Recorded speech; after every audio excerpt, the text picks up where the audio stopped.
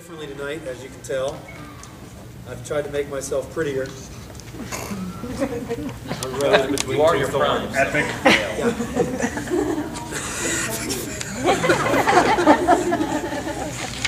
I have some friends with me tonight. Um, those of you guys that don't know, this is Randy, the Ancient of Days, Strombeck. And this is Meesh, I'm still wet behind the ears. And this is Mark Mark in in his prime. prime.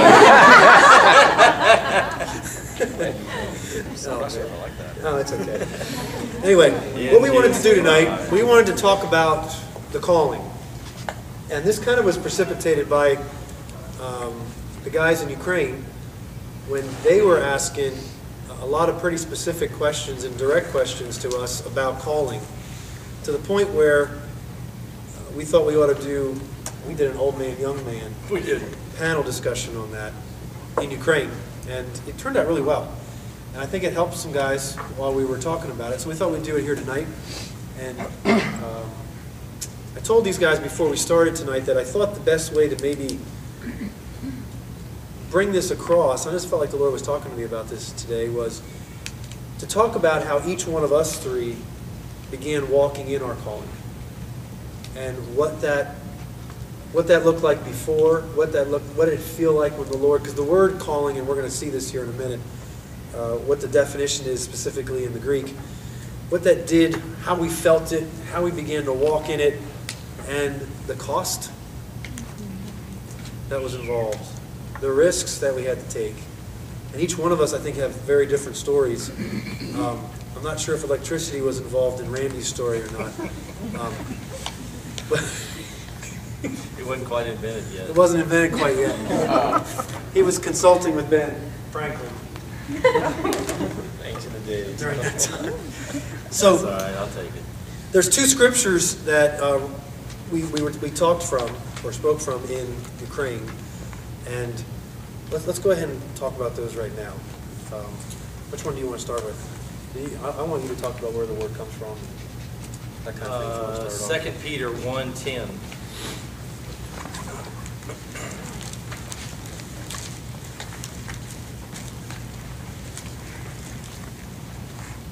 So, I- I had done, you know, a lot of studying and on this, and I've taught just a lot. But I felt like we, we actually, Mark and myself and five of our young guys were up on the platform, and I just pulled my laptop out, and I looked up the definition, I'll give you the, the other verse also right now too, is Second Timothy one nine. Well, that's the second time that I want to bring up that word calling. But I just opened up my laptop and I looked up the Greek definition of it, and there was one, and it was invitation. And I think so many times we really complicate this whole thing of calling. Because I think most of us, myself included, um, I actually can say now, you know, without sounding bad, hopefully, that I'm, I'm actually walking in my calling now. But I know that will extend and not, it's not just like a season, but that calling will grow, it'll evolve, it'll do a lot of different things because every time I, I walk in something, the Lord will always put something else out in front of me. So it's not something that you achieve. It's really a lifestyle and you actually can walk in your calling. I think most people are still struggling, what's my calling? Because they want to serve the Lord. They want to, they want to be with Him. They want to be obedient. They want to do all these things. And it's a legitimate thing to want to know what your calling is. Right? Mm-hmm. How many of you want to know what your calling is? How many of you are walking in your calling right now? Is anybody here can say, can you say that you're walking in your calling? We're right now, yeah, you're welcome. I Okay. I'm close. That's, no, that's fine. It's, it's not, a, it's not bad if you're not, and it's Yeah. not good if you are. Right. It's not, it's not like, I've arrived. That's not what I want to, that's not what I want to put it out to. But when you look at the scripture, I want to show, I'm going to show you maybe just a couple things in this, just to start with. So let's start in 2 Peter 1, 10.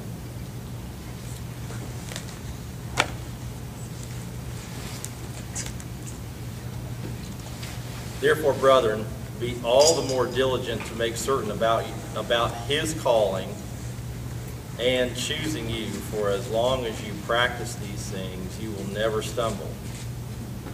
For in this way, the entrance into the eternal kingdom of our Lord and Savior Jesus Christ will be abundantly supplied to you. We see some translations say like achieved or attained, but it's actually supplied. My version in my head, not in here, says supplied through you because I know the kingdom is in you. So it's actually supplied through you. It's the process of realization, of real, realizing that the kingdom is in you so it can be supplied through you it's already been given to you. So in the process of knowing what your calling is, or actually realizing what it is, it's not something that you take from outside, it's something that you take from inside. That's where your calling is. Again, a lot of us will think that my calling is, you know, somebody prays for me, somebody ordains me in the ministry, somebody does this, this is what I'm good at. All those things are wrong. Uh, and so this is the process of realizing through practice uh, what's inside of you. And when I said the word invitation, knowing who you are, and maybe I'm kind of jumping the gun on some of the things that we're talking about, but the way I see it literally is an invitation to be yourself. If that's how I can, you know, say it in one sentence, your calling is the invitation from the Lord to realize who you are and be yourself and manifest who you are to everybody around you. That's how, basically everything all in a, like one sentence, if I can say it in one sentence. Yeah, so on Sunday, we guys, if you, anyone that was here, we talked about how inside of every one of us is that original us. That one that we were formed and created in God's, by God's imagination, in God's imagination, inside our mother's womb. Before, can you guys just really quick, while we're in these two verses, also turn to Jeremiah 1 5. Because I just want you guys to see this is not just a New Testament idea, this is an Old Testament. Idea. This is a God idea, this is a man idea, how he made man to start.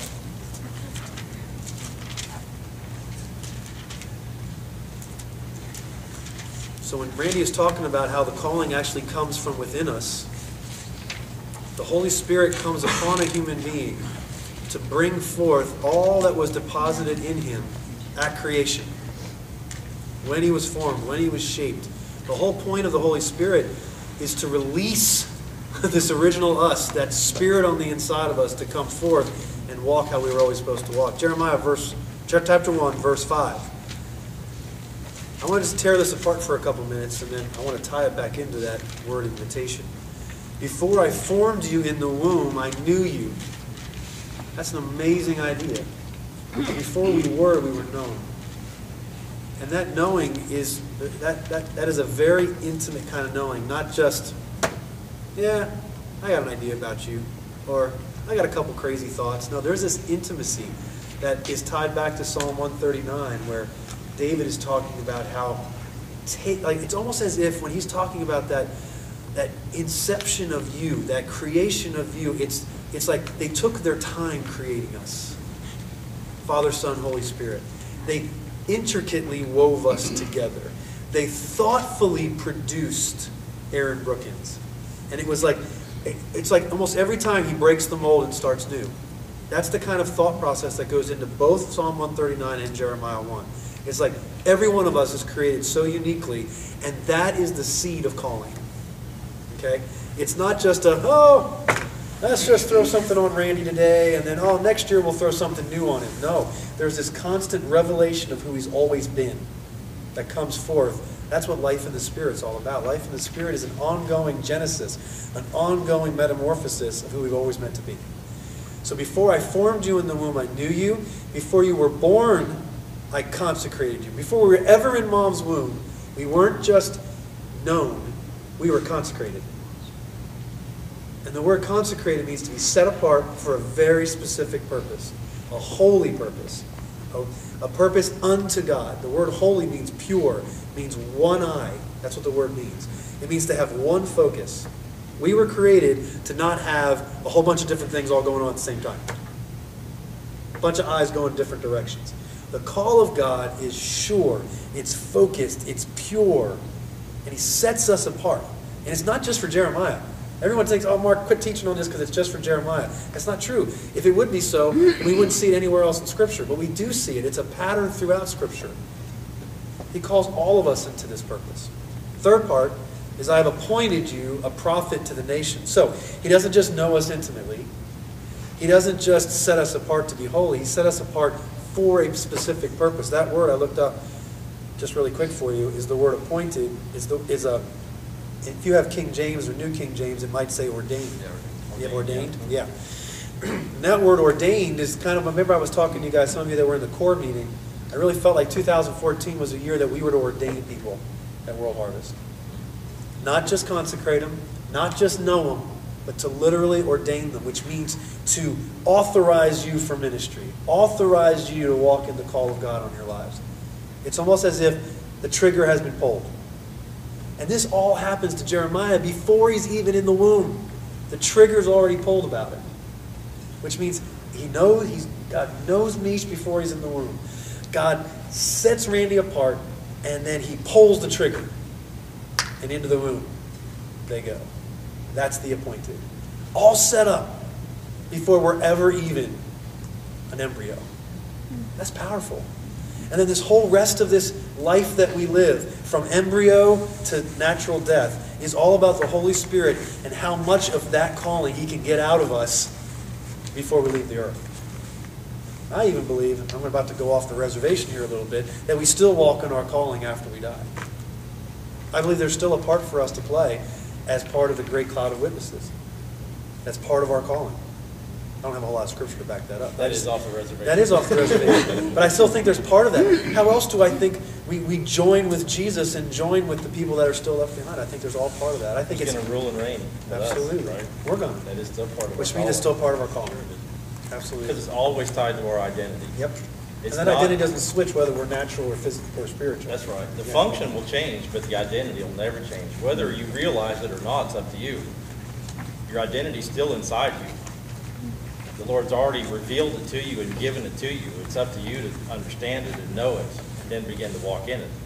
But your function will always change, you know, from different seasons, good seasons, bad seasons, betrayal seasons, you're still walking your calling. It Doesn't make any difference. Yeah. But like Jeremiah, the ord, the ordination, like, I didn't know you were talking about this ordination, but the ordination is already accomplished in the spirit realm through your identity. And then when you're ordained on earth, we're already, we're saying, that's right, we're recognizing who you are and what you're already doing. We're not saying, okay, now we're gonna bless you, now go and do it. Exactly. That's like when Rick or Benny or anybody's ordained me is like, you're already doing this. And all I'm doing is saying, you just have more responsibility to watch my back now. And I've been watching your back. You know, it's a lot more mutual now. We're like tied together. Absolutely. So, Yeah. So I'm even thinking back when I was a kid, back before I was a Christian. Um, my mom would tell me stuff about me that I thought was strange. Like she would point out quality. I mean, I'm sure you guys have all had this experience, or maybe if you haven't, um, it's something that you always desire, which is someone who's raising you up, recognizing qualities in you, and already beginning to tell you what they see. It's one of the greatest things a parent can do for their child is to go ahead and even while they're still four, five, six years old, even younger, pray over them at night. My mom would just tell me things like, Mark, you're a writer. I was five years old, six years old, and I remember my mom would give me this summer project. I'm like, I'm, I remember like 10, even 11 years old, she would still keep doing this to me, Randy. Uh, during the summer, I'd have off school. I'm thinking, okay, no schoolwork for Mark, I'm done. She would have this box. And inside this box were 12 or 14 slips of paper.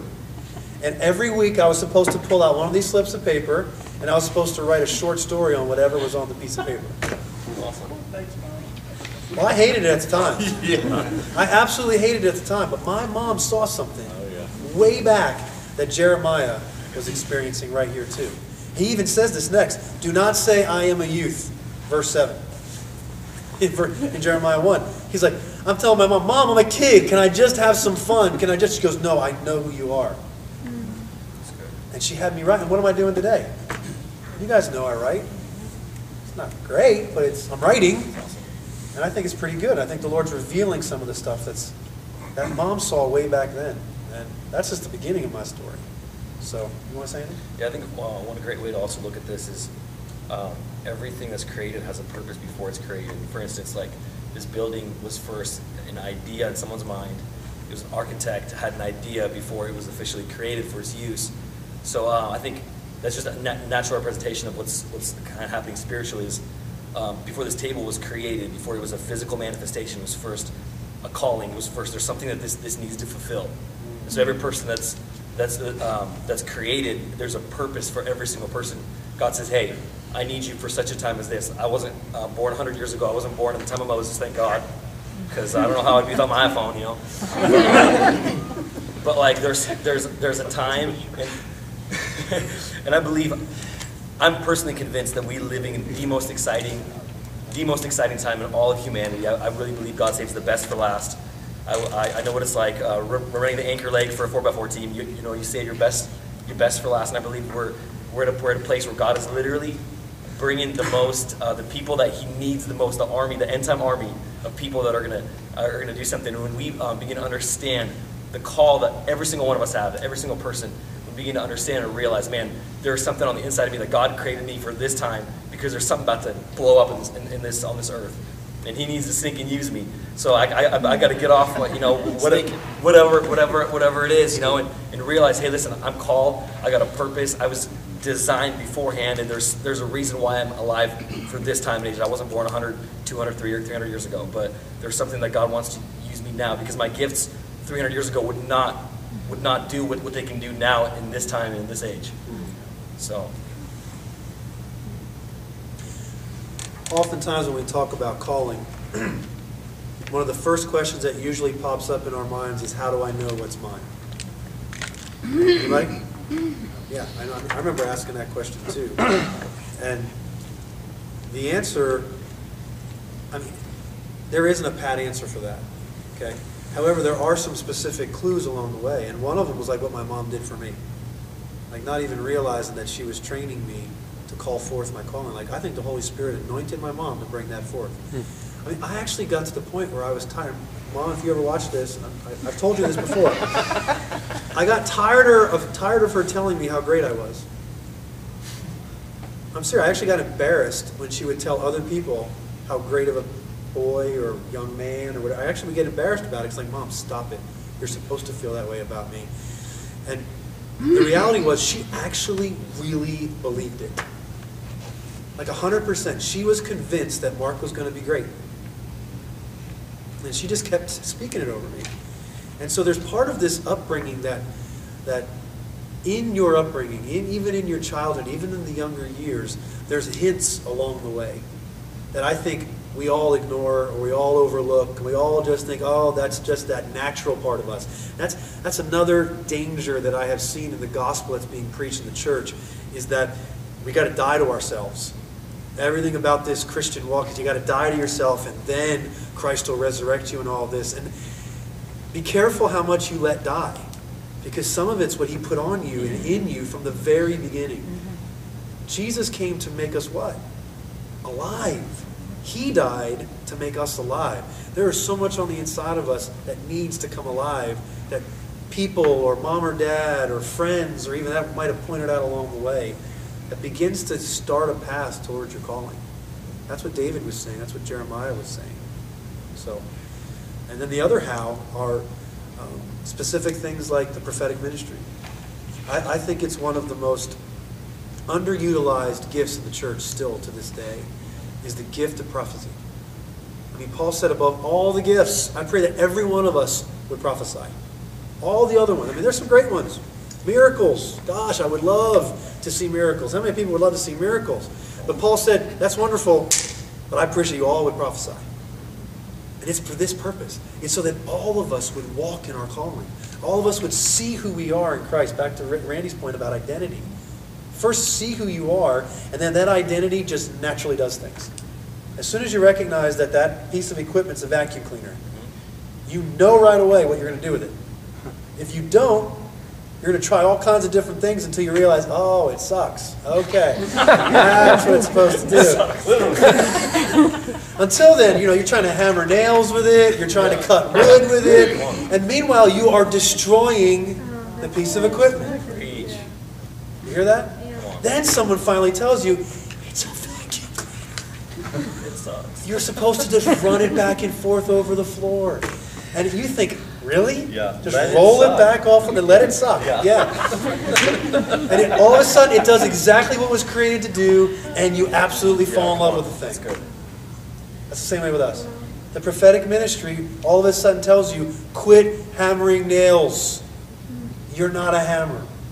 You're a sucker. Yeah. Do you get the point? Yeah. So, and then here, oftentimes, what the prophetic does is it will confirm the hints and the glimpses and the quick little dreams you had throughout your life. Like, I'll, I'll tell you this one. I, I'm going to pepper my story, and hopefully at some point in time we'll hear some of the other guys. But I, and I'm going to embarrass myself here. But I remember in my early teens, I would lay in bed and I would put the headphones because my stereo was right by my bed. And I put the head these headphones are like now they're cool, but when I was growing up, they, they were really big headphones. Anybody? They weren't beats either. They weren't Beats. They were they were Sanyo, I think. But I would put my headphones on, and you know, I would have Journey, or I would have Boston, or I have something like that, and I would picture myself as the lead singer. I would. And I would be singing so loud at 12 and 1 o'clock in the morning that my parents would come in and yell at me. And I would see them standing in the doorway. and I had to take my headphones off and realize that they're yelling at me. For, and I didn't even know I was singing. I pictured myself as this lead singer of this rock band. And I was just like, I was Rick Springfield. Anybody know Rick Springfield? So, I and I just thought that you know I just thought everybody dreamed that way. Maybe you all do. I don't know, but I did. And then all of a sudden one day, about I think it, I even remember the year. I think it was 1999 or 2000. I was leading worship in front of this this building, and all of a sudden I realized that the Lord showed me a picture of what I would one day be doing. While I'm singing the Boston, while I'm singing the Steve Perry and Journey, I realized the Lord was preparing my spirit, preparing my soul to do. I mean, I don't, most of you don't know this. I used to lead worship here. We made a CD. I wouldn't want anybody to hear it. We made one. I gotta find a copy. I see that. I know I have. Not even nine, eight and a half. The eight and a half was the guy that broke it. Oh, no one should listen to this. So, it wasn't that bad. It was actually pretty good. Hmm. But it was a revelation, and I, I love how you said that, that calling is not just something you arrive at. As soon as you're walking in it, it progresses forward. There's always vision for the next step. There's always this, this next part. That's why I believe the heavenlies, if we pass on and when we pass on, is just a continuation of our calling and identity. Well, most people see calling as a function, or an office, mm. or a job, rather than an identity, Yeah. Or So it stops. personality or a spirit inside you. That's your calling. Yeah. It's never a function, because the function will always change. That's right. It's changed for my whole life. So if you see it, if you always see it as something you do, like, even if you're a prophet, everybody should prophesy. Like when you, when you read that scripture, uh, it's 1 Corinthians 14, 1. The very first word in there is pursue love, but spiritually desire gifts, and especially that you may prophesy. Okay, so if you have the foundation of love, literally all the gifts will take care of themselves after that. Because if your life is founded on love, that's the only way your true identity can come out. Sometimes love has to be pounded into you, or I should rather say pounded out of you. Not like it leaves, but when you go through hard times and love comes out rather than, you know, anger, first anger and all the other junk will come out, then love will come out. And then your identity will come out with it. That's why he says, pursue love first. Because if we're always trying to figure out what to do, what's my calling, what's my calling, what's my calling, we never can remember who we are. So if you focus more on your identity, if you focus more on the foundation of love, then everything else will naturally come out after that. Everything that you do becomes easy. That's kind of a sign to me that you know you're beginning to function in your calling. Not that it's like wonderful or stress-free or all the things that we think of easy, because you can walk through hell, you can be going through terrible, terrible times, and you're just at peace. You're like, I have no idea why I'm so calm. It's because you're comfortable with who you are, even though, you know, people are yelling at you, screaming at you, cussing at you, you know, accusing you of all kinds of things, you're like, "Mm, it's fine. Then you're beginning to walk in your identity because you're not worried about all the other stuff. Or, you know, when you say things, when you do things, when you even, you know, look at scripture, how you interpret scripture is tied to your identity. Because we can get three different interpretations on the same verse, and there's nothing wrong with that. Absolutely nothing wrong with that. Or 30 or 50 or however many people are here. There's nothing wrong with that at all. And when it's founded on the right thing, which is your identity, your, your identity cannot be known or realized unless you know love. Truly, fully, you can't do it unless you know love. And that's what we have tried to concentrate so much of our time and energy and effort on, is bringing the foundation of love and then letting everything come after that. Whatever the Lord wants to do after that is just mm-hmm. fine. And then the function that you begin to walk in, because I've been a Christian long enough, I'm 51, I've been a Christian my whole life, I've been spirit-filled for 41 years, so I have a little experience. I've seen hundreds and hundreds of thousands of people healed. And so the Lord would take me through long seasons of my life where he focused on, and I thought he was focusing on my gift, and it was really not true. But he was, like that second Peter was, he was causing me or forcing me to practice who I actually was. Like for one season of my life, it would be prophecy, and everything would be about prophecy. And I used to be so hard. I could walk into a room, did it many times. We had schools and churches in South America and all over creation. I would walk in the room with all our pastors or a bunch of leaders, and I would, you know, tell them their name. I would, you're sleeping with that person over there, and you're cheating on your taxes, and you're doing this, and I could name all that stuff, but it had no love in it whatsoever. It was all true, but it was just trash because there was no love in it.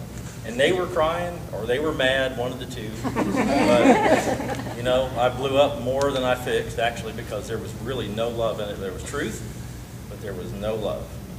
And so it brought a lot more destruction. So the Lord was forcing me into realizing what the foundation of all the true gifts were. So if you look, if you look, I pulled the scripture. up. If you look in Ephesians, it's what everybody talks about. In Ephesians 4, 11, and he gave some as apostles, and some as prophets, and some as evangelists, and some as pastors and teachers, for the equipping of the saints for the work of the service, to the building up of the body of Christ, until we all attain to the unity of the faith and of the knowledge of the Son of God, to a mature man, to the measure of the stature which belongs to the fullness of Christ. Okay, then he talks about the results of walking in the nature and the stature, of the maturity and the fullness of Christ. Okay? But watch this, verse 15. But speaking truth in love. Okay, so when you look at your calling, most of us get stuck on, okay, you got to pick one of the five apostle, prophet, evangelist, pastor, teacher, right? Which one am I?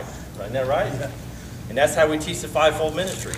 And we've taught the fivefold ministry forever.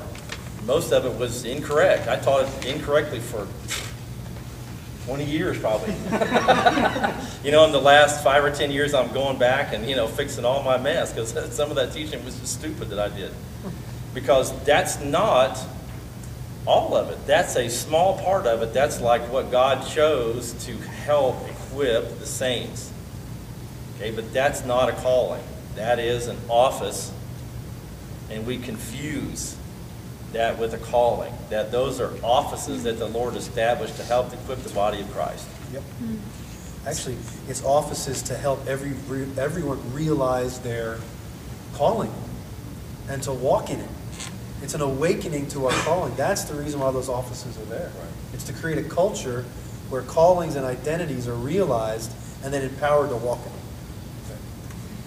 Yeah, um, a couple things real quick. Um, one thing I wanted to say is, when uh, Mark and Randy kind of mentioned this, is about the whole thing about prophecy is, and I think sometimes um, you think, oh, I gotta prophesy, so I gotta, you know, get all spooky and stuff. But honestly, prophecy is so so easy. It's encouraging. Like his mom was prophesying to him when she said, "Hey, here's what you got going on." Like she didn't, you maybe she wouldn't put those words to it, but like just finding something good in someone, saying, "Hey, you're good at this. Hey, hey th- th- this is awesome what you do here." That's prophecy, you know. And and I think I think it's so so important for us um, to you know to do that for others also, and just is, to bring them into that. It's like, "Hey, I see this in you. I see that in you." To, to me, that's that's as prophetic ministry as, as it gets, you know. And one other thing is what Randy mentioned about the identity thing. Um, a passage that came to my mind is is the story of Gideon. Um, I love this story because one of the questions about calling is how do I figure out what it is? How do I how do I get there? What is you know? And Randy, Randy mentioned love. And another thing I want to mention is um, is you know people as a youth pastor you know many years ago. Hey, how do I know what I want to do? How do I know you know where do I go? Where do I do? What do I do? How do I do it? You know, I had a roommate um, that literally was like, uh, you know, I'm just gonna I'm just gonna pray and God's gonna open something to me. He sat and sat and prayed and prayed and sat and prayed and sat and prayed, and I think he's still sitting and praying years later. You know, waiting for his calling. And uh, the thing I love about Gideon is is uh, what Randy said is, is your identity is who you are, and the best way to figure out your calling is to be faithful with what you have. And Gideon um, in the Old Testament names were very very important, and the name Gideon. Um, means it's a, it's a heller or a fewer, but specifically what that means is to strike with repeated blows. I, sh- I just found this passage in uh, uh, Judges chapter 6, verse 11, it says, An angel of the Lord came and sat under a, uh, and sat under the, under the, tr- the tree, this Ophrah, whatever, and um, he found Gideon, th- and it says, in, in, uh, he found his uh, son, um, his son Gideon, threshing wheat um, in the wine press. And what's interesting here is Gideon's at this place where it's like he doesn't, I mean, his, uh, the Israelites are being, the Midianites are uh, overtaking the Israelites, and he's scared. He's at the bottom of the winepress. Um, his name means to, you know, to um, basically, basically what he's doing is who he is. He doesn't even realize that he's living out his calling. But the thing is, because he was faithful with what God gave him, even though he's scared, even though he doesn't understand what's happening in his nation, you know, um, the, the bad people are taking over the good people. But what he's doing is he's faithful and he's committed to what he has. And he has that wheat, and he's in the bottom of the, bottom of the wine press, it says, and he's, and he's threshing wheat, threshing wheat. That's who he is. That's what his name is. And a lot of times I tell people, hey, who are you? What do you have? What can you do? You know? And if you're faithful, God's going to use you. You know, it's, it's the saying that God doesn't um, call the qualified, He qualifies the called. You know? It's not about how good you are and what you're good at that all of a sudden, bam, I got this awesome calling. But um, he, He'll qualify you. If you're faithful, if you're committed, you know, as, as youth pastor, so many times, give me someone who's faithful 10 times over someone who's, a, who's an amazing singer, who's an amazing communicator, who's an amazing this or that, you know. It's, uh, but someone who's faithful and diligent with, with what they have, with what they're given, I think God looks at that and, and uh, begins to pull you out and bring you into your calling. That's what released Gideon to set the, um, the Israelites free from the Midianites. And, and you, you guys know the story if, you, if you're uh, familiar with the Bible. But um, I mean, it's crazy how it all happened. But God found him faithful in who he, in who he was, is diligent in what God has given him in his hand. You know, do with what you have in your hand, and God will, and God will raise you up to the, to the next level. And so, one of the best things is don't sit there and pray for your calling. Do something. Live, do, do something, do something. And, and when you're faithful, God said, you're ready to go. Boom, let- let's get you doing what you're called to do. That's why he said in Second Peter about through practice, you'll never stumble. Yeah, it's good. There's definitely action that's tied to your identity. It's not just sitting around, you know, praying and always, you know, asking the Lord what to do, what to do, what to do. I'm not afraid to do anything, really. Whatever I had in my hand, I did it. It's Yeah. like working, ministering, Yeah. you know, anything. Moving chairs. Moving chairs, cleaning Yeah. up, whatever. I don't care. doesn't make any difference, I just do what I do. Totally. So, was telling the story in Ukraine about David and how Psalm 78, right at the end of the chapter, says that, I'll, I'll just read it to you, you guys don't have to turn there. It says, God chose David his servant and took him from the sheepfolds, from the care of the ewes with suckling lambs he brought him to shepherd Jacob his people and Israel his inheritance. So look, listen, listen to this last verse, verse 72 of Psalm 78. So he shepherded them according to the integrity of his heart and guided them with his skillful hands. So David was never trained to be a king. He was never trained to be a leader of an army. None of that training happened. That's why, you know, and I, I love Bible schools. I think they serve an incredible purpose. I think all these ministry schools out there are incredible, and I thank God for them. There's also a bunch of people that aren't going to them that are just out taking care of sheep.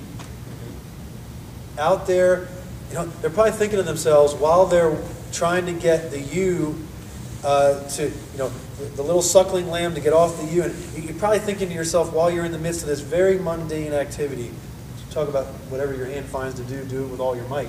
You know, so you're sitting there doing this unbelievably mon- monotonous, mundane thing, and you're probably thinking to yourself, this is ridiculous. There is no way that I could ever, God cannot find me here. There's no way God could call me from this place of doing whatever it is I'm doing, and He's gonna He's gonna suddenly put me forth into my calling or into my purpose. And there's David stuck. He is a bastard child.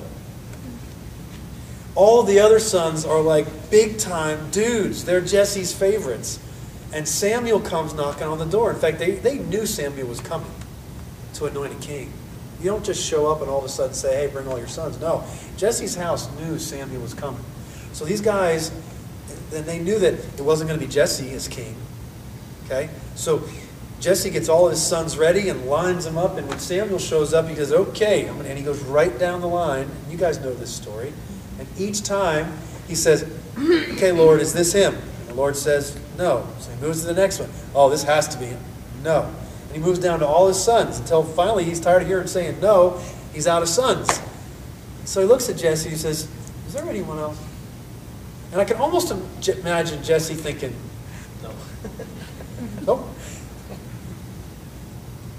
I mean, I don't know if we know the history of David, but it's not Jesse's. It's not Jesse's son. And so we've got this boy out there that Jesse's not even thinking about.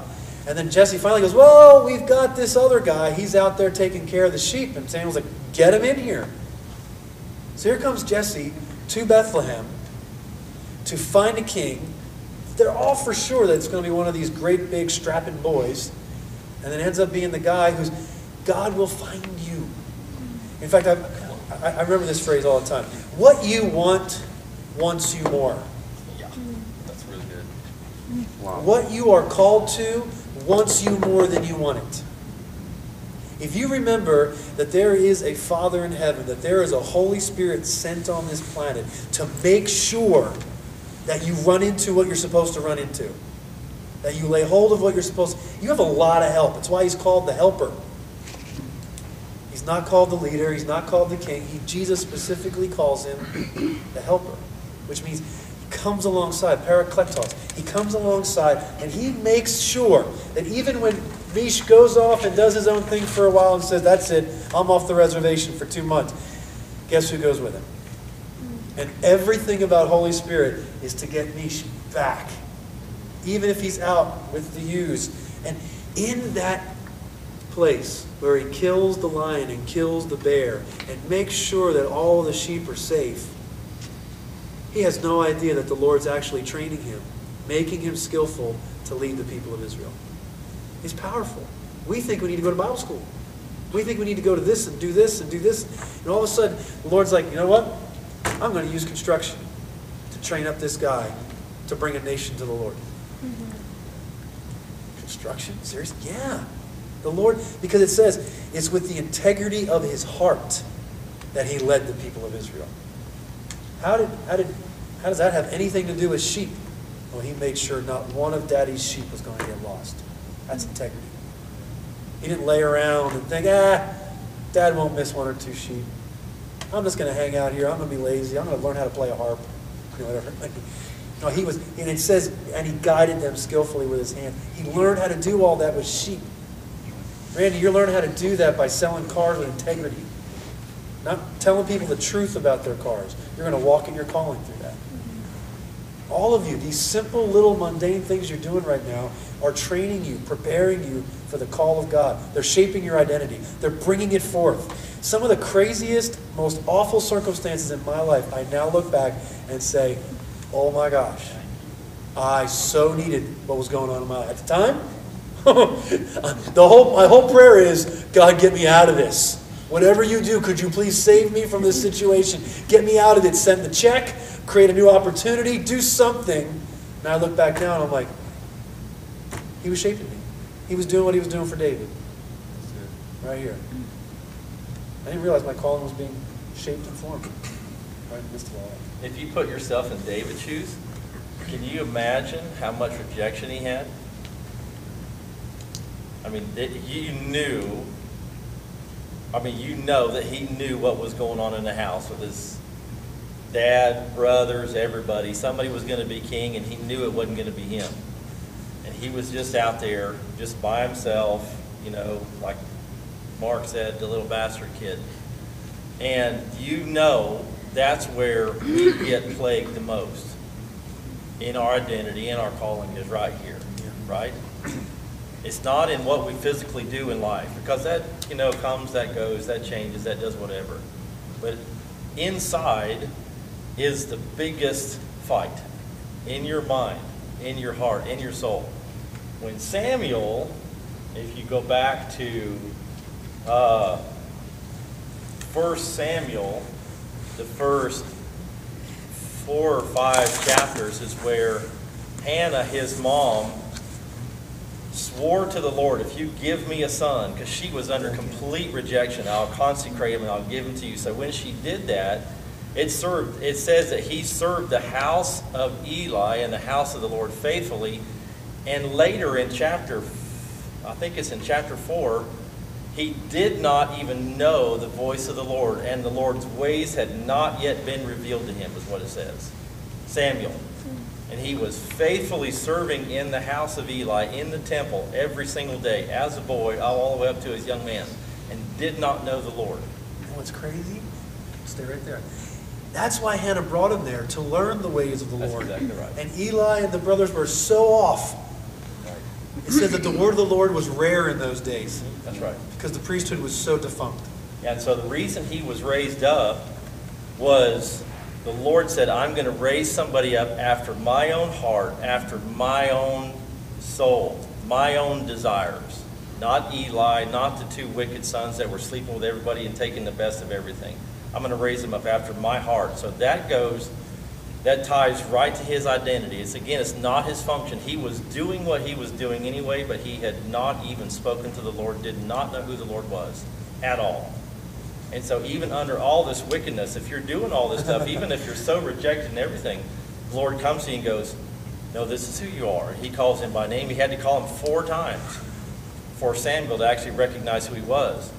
And then he has to go and then prophesy the demise of the high priest and his two sons. Like the guy that's actually teaching him, he prophesies, you're going to die all on the same day, and it actually all All comes to pass, and the whole, the whole kingdom knows that he's the prophet. And he was just, you know, this dumb little kid. Like, I mean, but he, you know he was under so much rejection because how would you feel if you're just slaving away that close to the anointing all the time and you had never known the voice of the Lord and did not know his ways? How many of us would keep going and just being faithful, faithful, faithful, faithful, faithful? Because his mom, like your mom, like my mom did the same thing to me, they put into us, and even if your physical mom and dad didn't do it, your spiritual one is and did put you put that identity into you. They just you know helped us do things. And so his mom, when she consecrated him to the Lord, uh, said, "This is what you're going to be. You're going to be a prophet in the house of the Lord." And so he served and served and served. So anyway, how much time do we have? Keep going. We're early. Oh, man. Up midnight, right? Think until someone falls asleep. Joey. Have you guys got any questions before we go to the next scripture? Yeah, I'm curious. Guys, any questions? Rob? When you were talking about it, your calling, your identity constantly evolving, it seems like that goes hand in hand with what the scripture says about the government shall know no end, it shall always be increasing. It's like if you find yourself stuck in maybe one place without increasing for a long time, it's almost like, you know, you better check yourself because you should be moving up to make room for someone else to move up. So the more people we have moving up, the more the government increases, the more room that there is for everybody else to move up. And it just, you know, it spreads out. It seems like we sometimes get stuck, well, not offended, but we sometimes we get stuck thinking too small. Like if, if you're not really ready to move up, you're not really ready to be you, it seems like. In that, in that reference in Isaiah too, it also, in that same sense, it talks about the government of God and, and authority. So it's not just the government, but it's the authority that goes along with it. It's everything that goes along with the Prince of Peace, and it names all of the things of the Lord. Those are always. all in- the Lord. That's right. They always keep them. That's right. Yep. Who is it increase through? Yep, does. You, me. He's not increasing in himself, he is.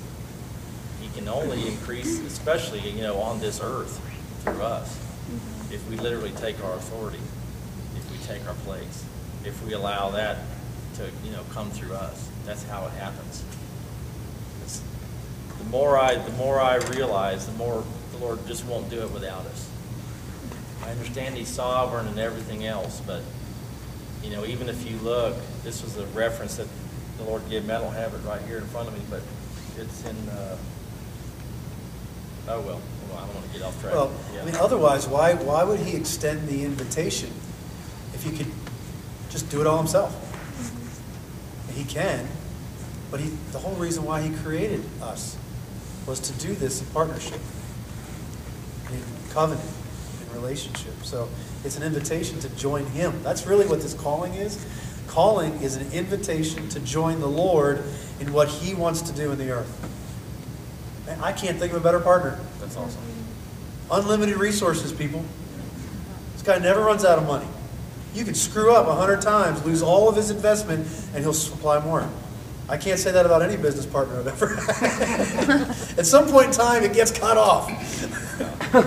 This is a great partner, and he invites us to be a part of it. Knowing all of our weaknesses, knowing all of our stupidity, our frailties, he says, Yeah, come with me. And he's got more wisdom, he knows what he's doing. He knows what he's doing. Any other questions or thoughts? Alicia? So when you're in um, a season of being stagnant and you aren't sure what to do, does he let you like bang your head into a brick wall for a while, or does he give you wisdom to get through that? Yes. I, you want to answer? Sure. Um, to me, the, to me, the first story that came to my mind is the story of Joseph. I mean, he he got the dream, and this is who you are. Here's who you're going to be. And talk about stagnant. This guy, instead of increasing, he was decreasing.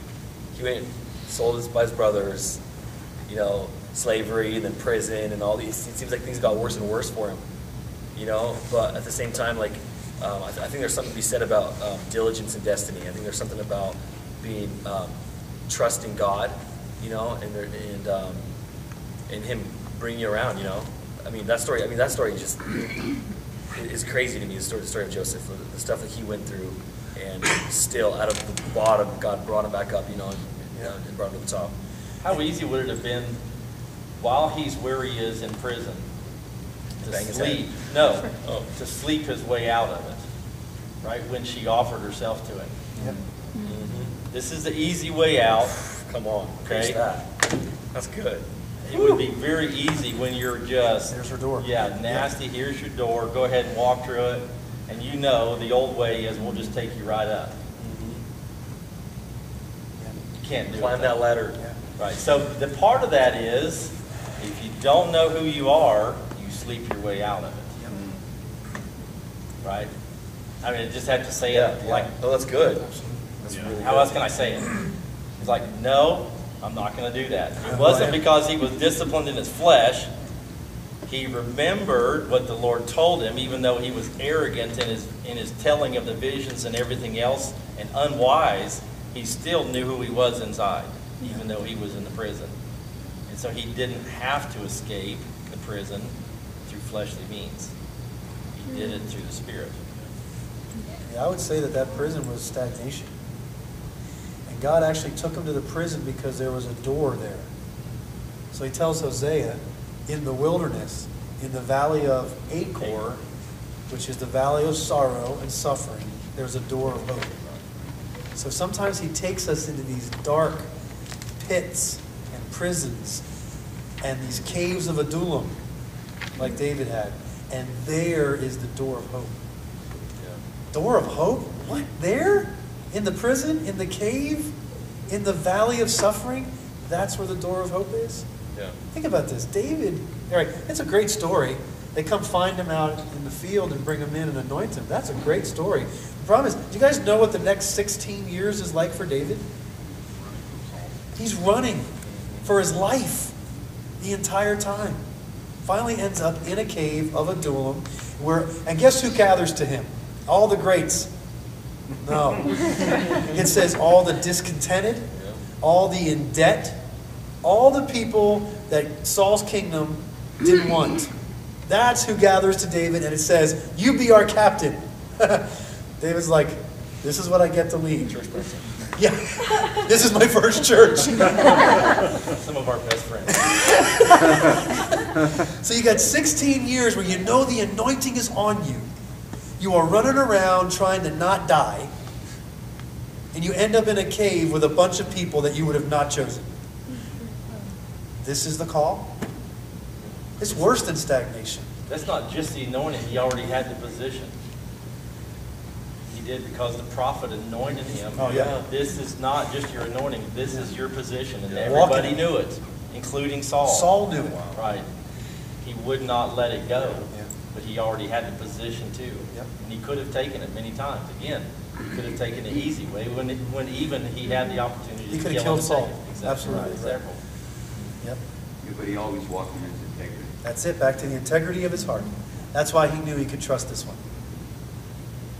So, you know, I don't think we can put a time limit on how long we're in that prison, or how long we're in the cave, or how long we take to walk through the wilderness until we finally hit the door of hope. I don't think we can put a time limit. But in that process, David's being trained some more. In that pit, in that prison, Joseph is being trained in who he is, looking for the door. I think the same way with the wilderness in Hosea. Come on out here. Come on out here to the valley of sorrow. no, I don't want to go there. Can we do it on the mountain of transfiguration where it's beautiful? And let's just stay here forever. Let's build tabernacles. Let's hang out here. No, in the valley.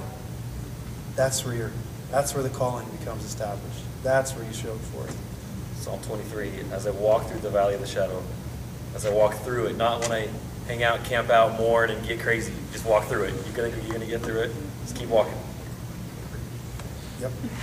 That's a really good question. Thanks for asking. Anybody else? Well, just in the thought process, you know, what you were saying earlier about um, the went into our, ident- our identity, you know, and whenever you're referring to the verse in Jer- Jeremiah, I was thinking, something I was reading earlier in the week, with Ecclesiastes three, uh, verse fourteen, where it says, I know that, I know that everything God does will endure forever, nothing can be added to it, nothing taken away from it. God does it so that the people will fear him whatever is, oh, whatever is has already been, and what will be has been before, and God will call the past to account. And I just, I think about that because, you know, in a sense of, you know, he, he's taken and crafted, you know, our integrity through all the bad stuff that we may view as bad, or even good, you know, the good stuff that happened, you know, not to think, I was just reminded of this today with some conversation I had, but, you know, not to think badly on the bad stuff, because God, God already knew all this stuff. Mm-hmm. He's using, you know, and it just, I don't know, it just reminded me, uh, not to go back to where you were at No, it's before, good. but, you know, just, uh, everything happens for, uh, in a season, Does. for, for a time. And, and, and, and, but he already knew that. He already knows what we're gonna go through. You know, it's, you know, and that, I don't know, I just wanted to bring that up. Yeah. Just because, you know, what you, what you referred to in Jeremiah there, like it just, you know, really, Connected. yeah. It's good. Thanks for sharing that. Anybody else? I think it's kind of cool that uh, Joseph was called a dreamer. His brothers called him a dreamer. And he ends up in prison, and it really, you know, things really connect with him with dreams there. So part of his, uh, you know, his calling really, you know, kind of was really activated there uh, to the saving of the whole nation. And uh, so, you know, whether you're banging your head against the wall or in prison, or even people that are in opposition to you can still uh, be speaking into your, uh, I mean, they, you know, they, they jokingly made fun of him and called him a dreamer, but that's who he was. And I think in prison, he was, he was remembering those things, and he was picturing, uh, you know, he was dreaming. I think he was dreaming, and he was interpreting dreams. And wow, you know. When you use what's in your hand, God will release what's in your heart. Well, and- and also, your, your calling and everything that's wrapped to it, your identity will get you in trouble. It's supposed to get you in trouble. That's awesome. It is. If you don't go through that valley, your calling's really small. If you hear Rick say it all the time, it's directly tied to, you know, your level of anointing based on how much trouble and betrayals and Crap beatings and everything you go through, right? Because of the significance of it, right? So if you, you know, you're, everything just comes easy, wonderful, yeah, man, life is great, everybody's healed, everybody's rich, everybody's out of debt, mm-hmm. wonderful. You know, it's just like, it means nothing, because it's not tempered, you know, something like that. You, you walk through, you'll walk through a season like that, and I have too, where everything's awesome, but that's not life. You know, you're supposed to walk, you have to walk through those things, and your calling is supposed to get you in trouble. So that you can learn for yourself if you sleep your way out, or if you, you know, wiggle your way out, or if you look for the man doors, if you do Yeah. all these things. That's supposed to temper who you are inside. 'Cause It's only, but it would only be between him and that woman, and nobody else would have known. But he would. He would have got out. That's why the prosperity gospel is a real problem. Because it trains us to look for the easiest way. It trains us to look for the blessing way out. And to look for the, the gravy train, so to speak. And we think that once we're on the blessing train, then we're now we're where God wants us. Now God's finally blessing, finally pouring out all that He ever promised us. And so we never see pain and sorrow and heartbreak as opportunities. We instead see them as, oh, we're out of God's will. Mm-hmm. Something's wrong with us if we're hurting. Mm-hmm. Something's wrong with us if things aren't going well. Something's wrong. I mean, there's some aspects of that that are probably true. I was talking to Diane this week about this. You know, there's some suffering that you're going through that is completely you created. Mm-hmm. And I'm not sure there's a whole lot of glory of the Lord that's going to come forth from that. There's just going to be some, hey, keep, I'll help you fix it if you need to, but you're going to fix it. You're probably going to have to walk through some junk to get it fixed. And then there's some real true suffering. And that part comes along with developing your calling and developing, bringing forth your identity. I will tell you, there ain't no baby born without labor. Purposefully. I, I believe that, that that labor that God put upon the woman, and I'm sorry, ladies, but it's partly as a picture of what spiritual calling and identity looks like. You want to bring forth spiritual calling? You want to bring forth your identity? It's going to take some labor. You have to squeeze through a very small canal. Hey, I'm serious. Th- this- think about this. It takes humility to walk in your calling. It takes a lot of pressure and a lot of squeezing to come out on the other side and breathe the air you're supposed to breathe. Man, it was nice and comfortable in Mama's womb. Oh, man. I didn't even have to open my eyes. I didn't have to cry. I got fed. I got fed all the time. I didn't have to put any clothes on. It was always warm. I was floating. The whole time. I am floating, baby. This is great. And then suddenly, I'm starting to feel shaking, and it's actually the baby that tells mom, I'm ready. Hmm. Physically. The baby tells the mother, I'm done, I'm ready, let's go. The baby doesn't realize it's telling mom that, and then suddenly it starts getting pushed through this extremely small place, comes out, and is suddenly suffering. It immediately suffers because it's breathing something it has never, it's never breathed before. Hmm. It doesn't even know it can breathe. It doesn't know it has lungs. Starts living in a completely different environment. It was doing way better in the womb than it's doing outside the womb. It was self-sufficient in the womb. Now suddenly it desperately needs someone taking care of itself. You guys with me? Put me back. Yeah. Someone squeeze me back through there. I'm willing to go through it one more time to get back in there. And then just to make sure it can't, what comes out right after the baby? You can't go back. Everything that once supplied you in the past season becomes waste in the next.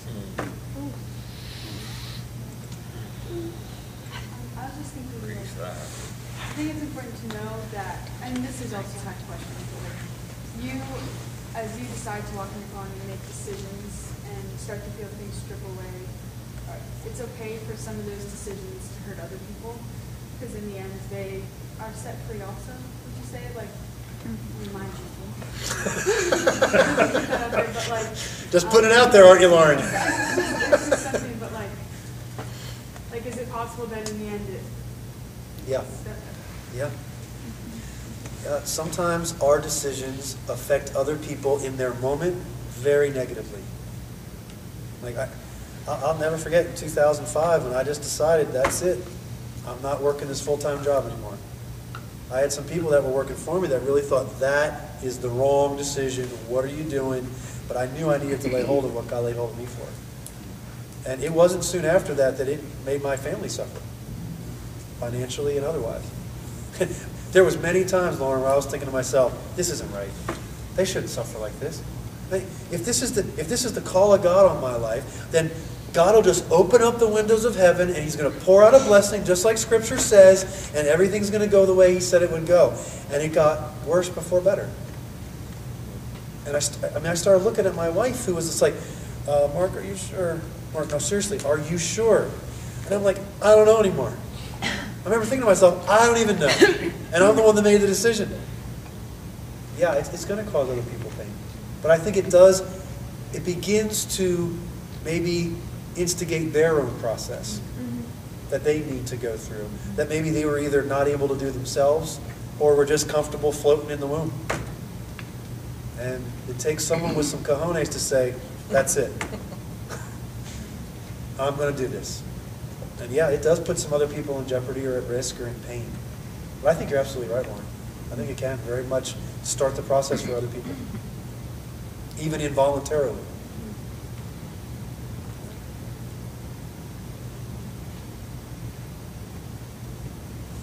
I think sometimes we have to, we have to be in the darkness and in the cave, because when everything's great, you don't, you're not looking for the hope. You're not looking for, you're not looking for, you're just not looking for it. You're not looking for hope, because everything's great. But when it's dark and when you're in that cave, you're looking for, you're You're looking seeking. for it. You're gonna find it because you're actually looking for it. When things are cushy, things are great. Yeah, Like, hey, I don't need to look for anything. right. So, you know, there's a lot of times where you have to be in that, that dark place. Yep. I remember when I, when I first started in business and I would run into a struggle or a situation, I remember going to certain business people because they were very successful in business. I remember, you know, if I'm going to ask someone's advice in business, I'm going to ask someone successful, Absolutely. right? Makes a lot of sense. So I would go to them and I would say, okay, here's my struggle. Here's what we're going through right now. And they could not help me. They had, in fact, both times, I I remember talking to two different, very successful businessmen, and in both cases, they had no help for me. And after a while, I go home and I, I'm like, I don't understand this. And then one of the guys came back to me and says, Hey, Mark, I need to know, I need you to know. I just realized why I wasn't able to give you the advice you needed. I go, Why? He says, Because I've never been there. Mm-hmm. I've never struggled like that in business. I've always had success. They started their business at the right time, or it was the right, or whatever it been. They were never in the particular place I was in. so they didn't have any advice for me on how to get out of it or how to walk through it. And so um, I, I learned a valuable lesson there that, you know, in success, you're not looking to learn a lot. You're not looking to, I think that's a really great point you make, Matt, is that when everything's going well, there's not a whole lot you need to learn. Why? Because everything's going well. The only time you suddenly feel like you need to learn something is when things are not going well. Why do, when do most people go back to school? How many people go to school when they're making a million dollars a year? Oh, I think I better go back to school so I can get more skill. they're making a million dollars a year. They don't need to. But when they suddenly lose their good job and they've got nothing on the horizon, you know what? I better get some skills. I better grow and develop. So you're absolutely right. I, I think it's in those places, in the valley of the shadow of death. Oh, I can't just rely on this or that. I, yeah, I need to seek. Um, going back to the womb thing, if, if we don't leave the womb though, like naturally, the baby would die. It, it can't stay in there forever. So I think that, that sometimes there comes a point where we, we have to realize or somebody has to push us one or the Yeah. other, and we need to get out of it. That's good. The baby doesn't know that, though. Think about this. The baby has no idea that the womb's not good for it anymore. So the baby's wondering what in the H is going on here right now, that I'm being pushed out of a very comfortable place. I'm being literally ejected from, this is great. What have I done wrong? What did I do wrong? Yeah. Sometimes I Yeah, don't How do many that. times, how many times have we, you know, done stuff like that, and the first thing, uh, first question is, what did I do wrong? Where did I go off track? I've had really close friends of mine, when I'm going through real bad stuff, you know, ask me, "Well, have you, you know, have you had a chance to go back and, you know, figure out where you went wrong? That's the first question. Instead of, you know, asking the right questions. And the right question is, you obey the Lord? Mm-hmm. You know, we went through this process, I shared some of it one time when I was up here about, you know, the struggles we went through for years, and I had to go back and ask the Lord where I went wrong. Boy, they're really hungry, aren't they? That is the longest ring. Is it an alarm clock? Here comes the owner. Go, go, go, go.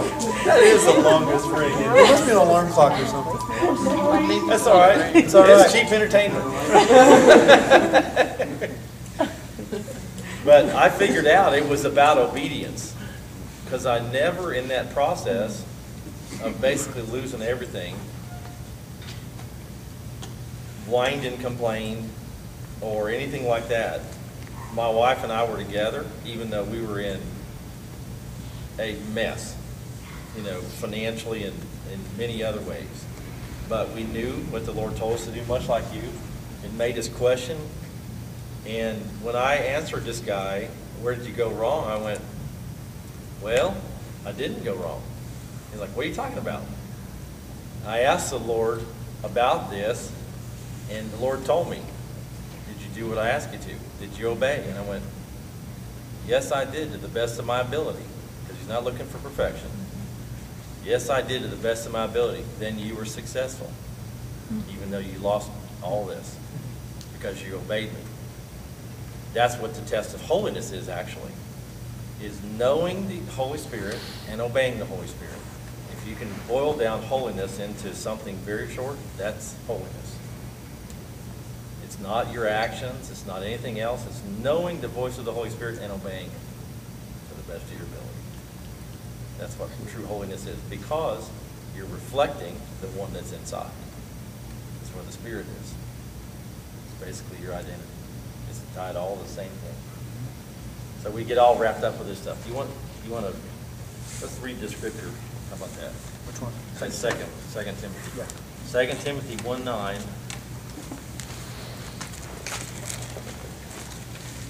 Let's start in eight, actually. Therefore, do not be ashamed of the testimony of our Lord, for of me, his prisoner, but join with me in suffering for the gospel. Join with me in suffering. Yeah. Yeah, I'm going to get right on that. Thanks a lot. According to the power of God, who has saved us and called us with the holy calling, not according to our works, but according to his own purpose and grace, which was granted us in Christ Jesus for all eternity. So you see, it's his purpose. Again, it's inside. It was already given to him. And it says that he has the grace for it. So, grace, I think, is greatly misunderstood. We just think it's like, we'll say we have the grace to endure this. But that's like sitting in the cheap seats to me. you know, grace actually empowers you not to sin. And so instead of the a perverted, oh, I can do whatever I want to. You know, when we talk about like grace versus hyper grace or legalism or lawlessness or whatever, grace empowers me not to sin. Not that I can get away with sin. It's the whole opposite. So it's the mm-hmm. same with this. If I have grace, he talks about suffering. We would see this in the context if I have grace to endure through all of this, through his purposes, through the suffering, instead of grace actually propels me into that. That's why they could have joy when they suffered, because they truly knew what grace was. When Stephen, when he was dying, why do you think he was doing what he was doing? He had grace, not to die, because right in the middle of it, he could see the Lord. He literally could see the Lord, what he was doing. His purpose, that's what it says, his purpose in all these things. And he had the grace, literally, to see what his purpose was. Okay, It's not the enduring of the suffering. Sometimes suffering can be really, really hard.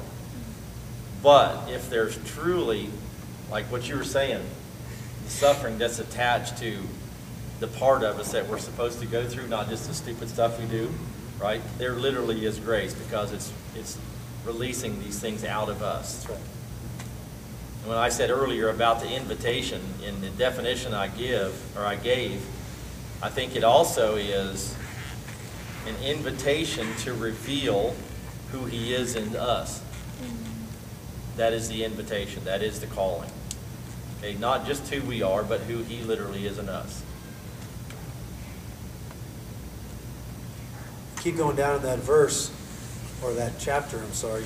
You go down to uh, verse 10. But now has been revealed by the appearing of our Savior, Christ Jesus. That's where all of this starts, in the revelation.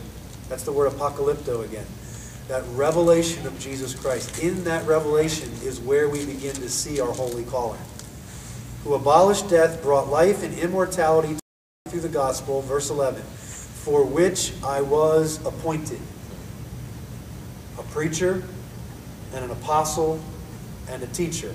Well, pick one, Paul. No, I'm all of them. At any point in time, I need to walk in any of these. And that's one of the things I think about calling that I think we have to be careful about. It's not as specific as we'd like it to be. Oftentimes, our calling is more general based upon the circumstance, the situation, the moment that we're in. I know we'd all like it to be, oh, nope, this is me, this is what I'm called to do. I've got a cape, and on the back of my cape, it has a title. And I fly through the air with this thing, and I do this wherever I go. No, at one time when he's in Rome, he's a Roman. When he's with Jews, he's a. I mean, anywhere he goes, he'll be whatever he needs to be in order to win some. Yeah. So we've got this. In this thing called the gospel, I am appointed a preacher, an apostle, and a teacher, depending upon what's needed in the moment. So that's why it's all tied back to this identity thing. It's not about our works. That's why he even says it right here. Not according to our works. We think, oh, that just means that we're saved not by our works. And actually, the context is not just according to our works for salvation, but your calling is not about your works. That's what he's saying. It's about our identity. So, when I know that I know that I'm a son of God, then that identity overtakes the environment, and then what the environment needs, Mark becomes. That's why when Jesus was, everywhere Jesus went, he had the floor.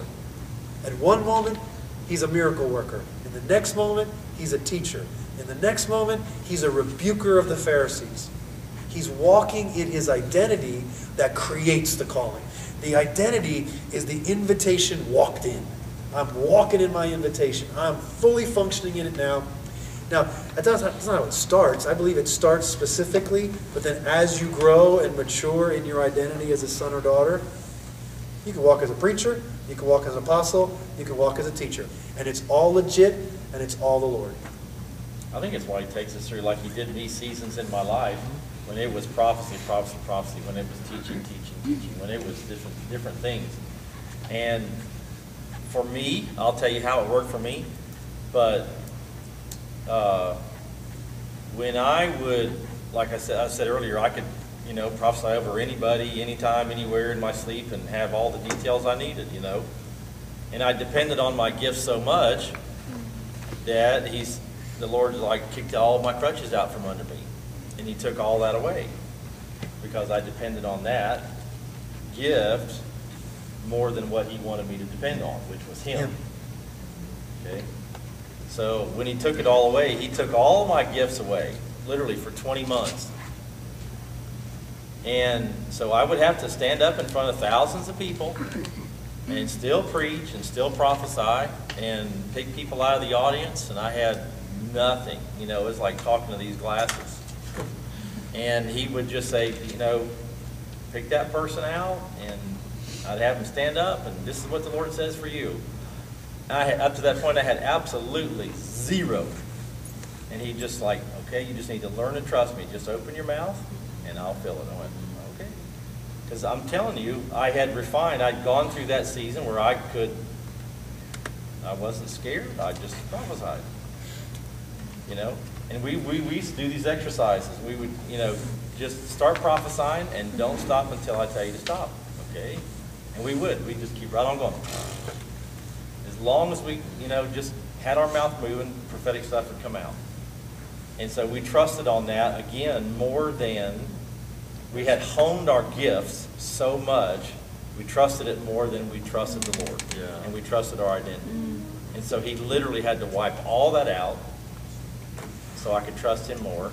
And then all the gifts come out. But they come out in a whole different form. They don't come out as a gift.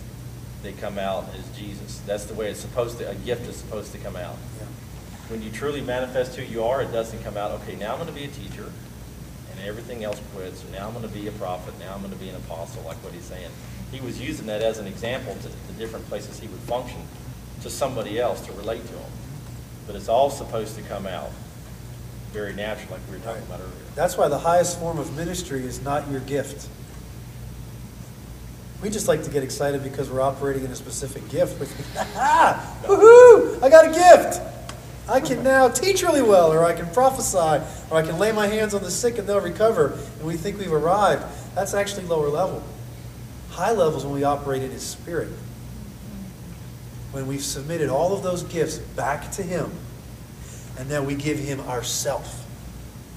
I was talking to you about this the last time you were here, and I think it's so powerful still. Check now, when I take my teaching gift, when I take my pastoral, when I take the apostolic, I just say, Lord, have them all. Just have them all. I, I don't want any of them anymore. I just want you. Now I transition from my gift to the person of the Lord. The Holy Spirit takes over, and now at any moment, He can give me any of the gifts because I'm not so focused, tunnel visioned on the one gift that I have. That's really the goal of the entire church. This whole thing in 1 Corinthians 12 and in Romans 12, it's just, it's to get the body functioning together, to get it operating. Hunter's got one gift, Courtney's got another, and when they work together, the fullness thereof. Eventually, the, the next higher place is to operate in the Spirit of God. There's a collective unity, Kendall, that we've been talking about, where it's now, it doesn't mean he's, he went through that season where he prophesied and prophesied and prophesied. I can promise you right now, if I said, Randy, could you please prophesy over every one of these people? Guess what he'd do? He would. That season doesn't end. But he has submitted that to the Lord, and now the, sub, the spirit of the prophet, subject to the prophet. And now he can stand up and walk in any of those because it is no longer about his gift. It's no longer about my gift. I mean, I think I've told you guys this before, I haven't prepared a sermon in over three years. And I just, I get a couple verses, maybe I got a few ideas, and I walk up to the pulpit, and I just, bam, it's the Lord now. And if he wants to start prophesying, that's what we're going to do. We're going to prophesy that Sunday. If we're going to teach or panel or whatever it is, I mean, none of us prepared for this tonight, other than we prepared us. That's what, if all you ever do is prepare your teaching, that's all you're going to ever do is teach. If all you ever do is prepare for whatever that specific task is, the only thing that you're going to be good at is the task. Instead, submit yourself to the Lord. Submit your whole vessel to Him. And He takes it, and He uses it, and then at any moment, I can lay my hands on the sick and they'll recover. I can teach a message, whatever it might be. That's the highest goal we should all have.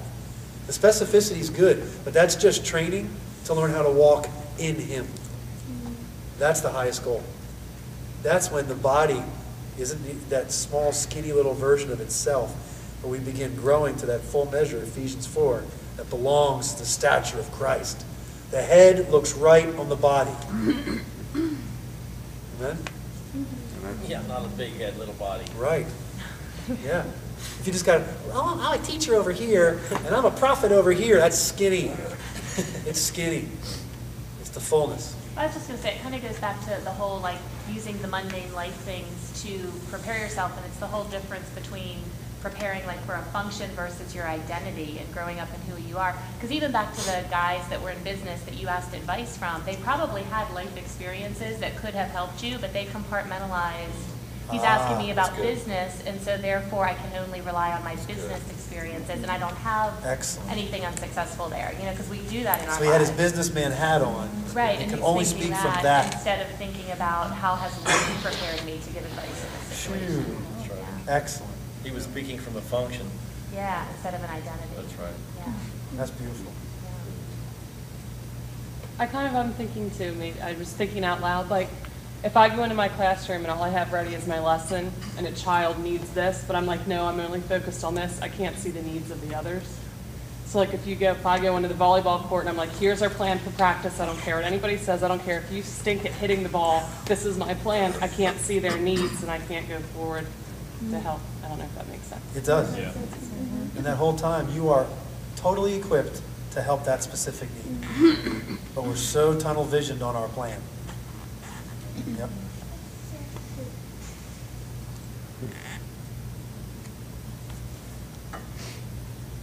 Any other thoughts or questions?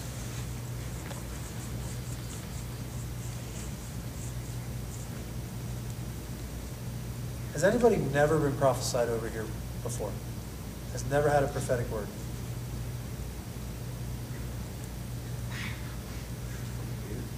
Huh?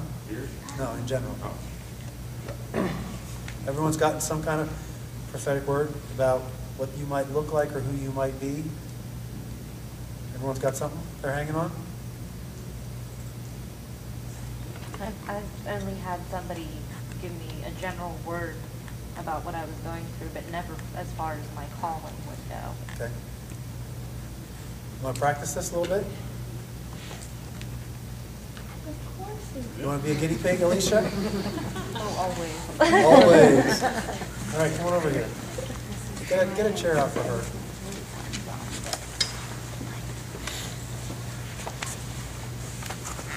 Uh, Straight out those doors. Yeah, I think that. Just follow Joe. Lead him to the watering hole.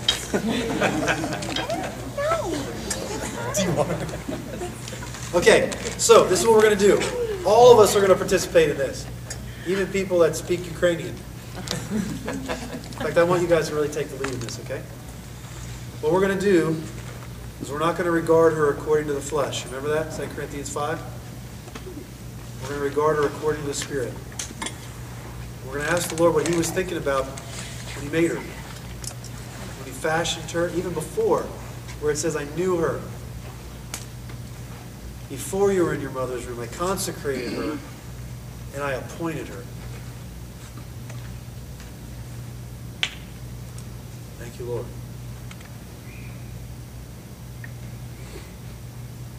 So let's just popcorn this, which means you just pop up and say something and then land. Make sure you bring it in for a landing. Don't preach a message to it. Thank you. The Lord's telling me that He sees you as a powerful warrior and determined. I saw wings of an angel on you, and you were born to fly. Did I hear a voice over here? Yeah, what you feel is weak is actually some of your greatest attributes. I don't know if you like to draw, are you drawing, but I saw you like And especially, a- a- as soon as you stand, I saw that you have to, like, not you have to, but you, it's your like, what you want to, need to do is draw and especially, uh, I saw a picture of sky and uh, ocean, water. I just commissioned her to do a painting for us. She's very gifted in that area. Thank you, Anna. Is that a confirmation? Yeah. Just a little? Yeah. I saw how you um, you walk you walking um, behind Jesus. I mean Jesus walking and which one is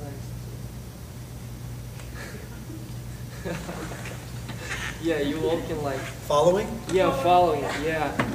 And you was not satisfied. Then you go closer, you take his hand and it's like become more closer, you know, you start walking with him. But still something in your spirit you was not satisfied. And then you walk inside of him and you walking in him. So and then you uh, see from perspective how Jesus see and feel how Jesus feel, you know, because he's he's the son, he is, you know, and you felt like, and you felt the same like, and you are a da- daughter. Just what I felt about you, you are the daughter. Yeah, that's the scripture. I got exactly what Mark is saying. It's the first chapter of Ephesians. Uh, Just as he chose us in him, she's in him, before the foundation of the world, that we would be holy and blameless before him in love. He predestined us to adoption as sons through Jesus to himself. And I saw the same process, just a little bit different context. You're in the process of, you know, that sonship from slave to son, and then from son to father. We talk about that, but that's literally going inside the Lord to see from his perspective. That's exactly what Mark saw.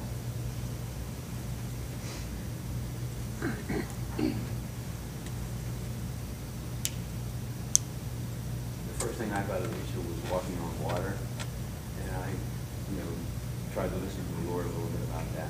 And it was kind of like, uh, anytime you see the Lord, or think you see the, or hear the Lord in a very, very unusual setting, uh, and if you just say, Lord, if that's really you, bid me come unto you, he'll just say, come to me. I got something similar to that. I just saw you like bolting towards a cliff, and then you just kept running. You just like just running through the air. Running on air. Hey Anya, when you saw her drawing, was it just like a word of knowledge, or do you feel like the Lord was using that as a gift for him? Or What did you think about that? I saw like that you will see from a new perspective, you will see people from a new perspective. And if you will take, you know, this drawing or practice, I don't know, like God will show you from new perspective about um, how to draw it, even, even it maybe will be something new for this world. I, I, I don't know how to explain it. Like, So the two words are actually connected, you're saying, what she Yeah, saw I, and I what feel you like it's like uh, what she's supposed to do. Like it's, I, I can't say that it's like the only thing that she's Uh-huh. supposed to do, but it's like part. Okay. You're an artist. I keep hearing the two words freedom and release, and as they've been um, sharing, as you as you walk in this new perspective and have this new vision, you'll have, there will be a lot of freedom in that, and you will be released from a place where you thought you were called, things that you thought you were to do, and released into things from this new perspective that you are really being called to do. So it's almost a transition place, but it's going to be from that new perspective. That there are thoughts that you have, strengths that you have, but they're not necessarily your calling, but things that will build on and release you into kind of a freer place of, of where you're really supposed to operate. Is that through art or is that in general? I get the sense that it's much more creative on the front end, yeah. But I don't know exactly, I didn't really get into that way, yeah. I've seen um, a mist or a fog, maybe it's a place that we come into at times, and it's like we don't know kind of what's there. But I think you have everything in you. It's there. And you may not see it for the fog or whatever, but as you practice His presence and just trust and step out of that, that the answer will be there. And you'll see. When Leslie was talking, I saw something also. And uh, while she was moving her hands, I saw that her hands looked dirty. Your hands look dirty, but they're not. It was just something that. They are a little dry, but it's it's, something I, it's something I saw in the spirit. Busting on you. But it was like your hands were dirty, and it was for her. And then I asked the Lord what it was, and there's been uh, some things that you've done where you felt bad, like you got your hands dirty, like you weren't supposed to be doing it. That's part of who you are. And the enemy's tried to torment you about that. And also, uh, it goes to you're not afraid to get your hands dirty. And this really a practical word in, in like two or three different arenas where you're supposed to be very hands on, not just art, but that's how you not only create, but that's how you give life. That's how you minister to people through touch. And, and don't ever be afraid to use what God gave you. Because the enemy is really, I think, tormented you in a lot of these things, like don't do that. That's like unholy. Uh-huh. And all the stereotypic, you know, kind of junk that the enemy you play with you. Don't ever listen to it. Don't ever listen to it because he can't touch you. Okay? All right? The Lord just gave me the word vindicator, and honestly don't even know what that word means without a dictionary in front of me. So it must mean something to somebody or to you. He likes to do that. He likes to give words, and then I have to go look them up because I don't know. he does that with me all That's the how we learn.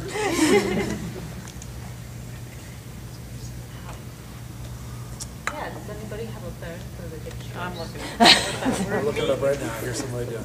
Isn't the word vindicated, doesn't it mean to be set free? If you've been vindicated of something, you've been set free of it. So if it's vindicator, it's setting other people. But it's also like I think someone is right. Yeah, it's got all. To clear as from an accusation, um, to afford justification for, justify, to uphold or justify by argument or evidence, to assert, maintain, or defend, to claim for oneself or another. Yeah, see, that is the Lord. Yeah. That is the Lord. You, you know, he says many times to me, and he says in the scripture, not to defend ourselves. Let the Lord take care of the justice for you. Okay, so one of her anointings is literally to release the Lord, to take accusation off of people, hmm. just by what we, you know, the things we've been talking about. Excellent. That is part of the nature of the Lord. You can literally take those accusations off people just by how you love them. Okay, that is a vindicator. Okay. Would you lay hands on her? Sure. Just pray for her? Absolutely. Okay. Tell me your name again? Alicia. Alicia? Jesus. Father, we bless Alicia. God, I thank you. She's your child, God. I thank you that you're going to use her, God, mightily. In Jesus' name, Father, we bless her now, God. Bless her now, God.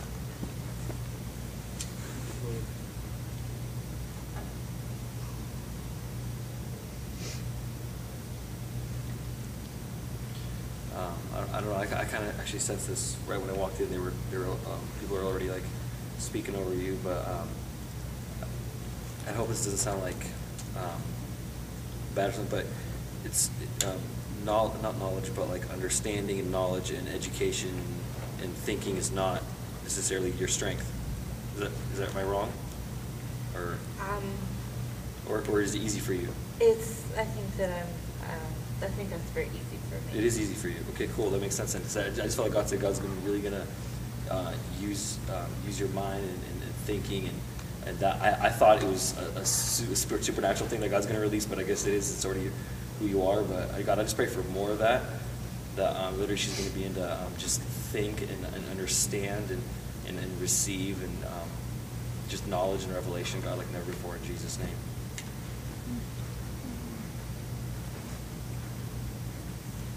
Amen. I had something, Mark. Yeah, go ahead, Lisa. I saw her heart laced in gold, and as I just see that it's um part of the creativity, like as the way that your heart is laced, it's almost like His love, and as you as you create, it's like that gold is just gonna just come out and create a beautiful pictures, not just um, in art, but just in people's lives, and um, and I see you as healed. I really do see you as healed, and um, and I feel that that healing, as you become more healed, that you are going to really just heal other others through your touch and your creativity. Just bless that in you. I don't really know if I could say anything about that because it, I mean, I, I know you well enough, but when he made you, he didn't make you unwhole or unhealthy or, you know what I mean?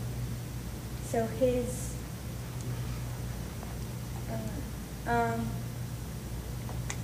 his inheritance or who you are, who you are, let's say who you are, who you are is whole in his health, you know? So his picture of you isn't broken. And I think that goes a little bit further than your health. When he looks at you, he doesn't see you as this mess of nothingness. He sees you as this whole, radiant, beautiful, releasing love to the world, favorite daughter of his. So you have to see yourself, even if it's hard to believe that, you just have to look in the mirror and be like, hmm, you know, I am radiant. Whole. Like you have to take that picture that he has of you and implement it as your picture. And I think to go with that, I kept thinking about color with you. And I thought about the day we went to get your painting supplies. And I just kept being impacted over and over and over again about how you picked the colors you picked. I mean, we must have picked a, maybe a handful of colors. And I kept thinking, how is she to do this piece with all of these crazy colors? And it was just a handful of tubes. And I kept thinking about this and kept thinking about this. And finally, the Lord said, You are moving color. And I kept thinking about how in the shack, how they described the spirit as like this wave of color. You can kind of see it, but you kind of can't. The Lord has invested in you how to express the characteristics of Him through creativity and through art. So you literally, you had such a trained eye, and you like you picked a handful of tones. And you're like, well, I need, I need that tone, and I can get all these other colors with these two. Like you needed a small, like I would need a palette the size of this room to do that. But the Lord has put in you a seed to release the colors of the Spirit on us. Things we would need, you don't need. It's in you. You just pour it out. I feel like with that, allow yourself to think like the artist that you are and not think like an intellect. 'Cause I Mm. think Yeah. in thinking as an intellect, there's striving for you. And when you think with the creative artist that's inside of you, that's, that's where the power comes. Mhm. And that's where you walk without the striving. Yeah. It's a good word because too often I'm I'm a perfectionist, and then whenever I, like I, th- I was telling Julia, like whenever I just let go, and I'm like, okay, this is what's in me, and I don't want to please anybody, you know, and that's when the stuff it really turns out better. Yeah, and I was. Go ahead, Julie. I was just, I was just seeing that there's going to be a shift from your head to your heart. Mhm. Um, that God is saying, your heart is so strong, um, and I have made it strong, And I want you to stop carrying this weight in your head and pull it into your heart where I am. And the, and it won't, and it won't be heavy anymore.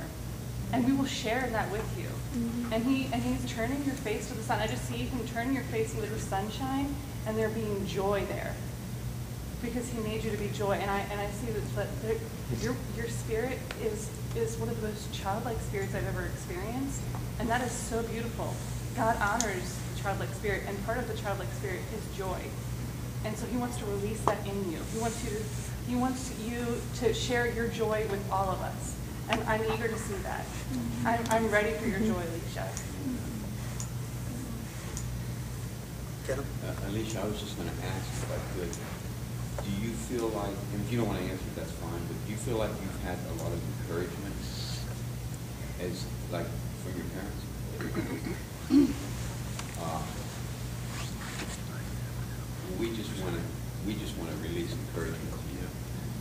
We just wanna speak encouragement to you.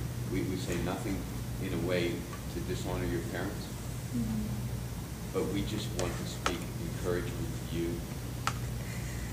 And we just want to say you are amazing.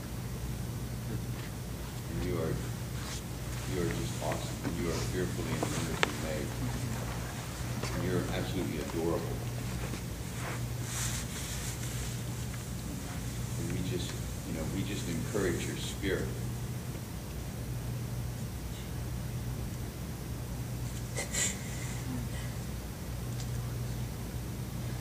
I feel like you need to know your heart is pure. As soon as Randy said about the dirty hands, I saw your heart with dirt and the dirt falling off and this bright white, just pure heart shining. And I saw your heart is big, like you're a little girl, but your heart took up like all of your body, all of it. So the health you're seeking, Alicia, starts inside, beyond the physical body. It's all about that in Him. Moving from following Him, moving from holding His hand to walking in Him. I think all of this gets, all of these words, these beautiful words, your big heart, the transition from head to heart, this creativity, this moving of colors, the in Him status brings that all to pieces, all to bear, all starts to take shape. That's the only thing, if you ask me, out of all those words spoken tonight, that's your greatest journey, is into the person of the Lord. All of this gets summed up in that. Don't try to fix anything, don't try to change anything, go after the person of the Lord. I know it, I know, I just want to confirm that. Alicia, uh, you have a twin. Are you identical? Yeah. Oh, yeah. So now, now. Terribly. Now you're. Now you have your own identity. Low, laying it down. Drop it down. Smack down. I ran into her twin one day. And I called her Alicia, and she was very bold.